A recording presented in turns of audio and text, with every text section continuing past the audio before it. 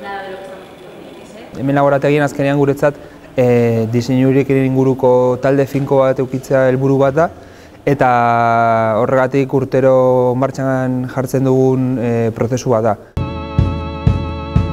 Aurten, hirugarren diseinu ireki zikloa e, garatzen ari gara. Le hemos dado como un enfoque ligeramente diferente porque está relacionado con otro ciclo que se estaba produciendo a la vez en, en Iriki Labs, que es un- el ciclo de naturalezas generativas, y que esto nos servirá de, inspiración a la hora de, diseñar el, mobiliario que queríamos, eh, que queríamos producir en este, en este tercer ciclo.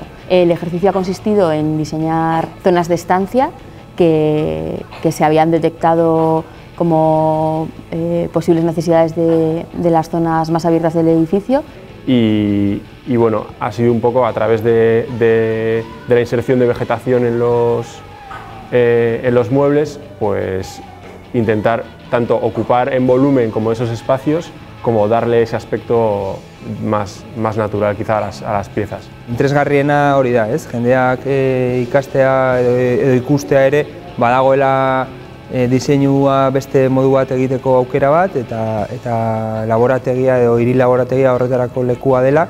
E, diseinu horiek nolabait egite dituzun heinean eta ikasten duzun heinean e, diseinuak partekatzeko pedagogia bat ere e, ikasten dezulako.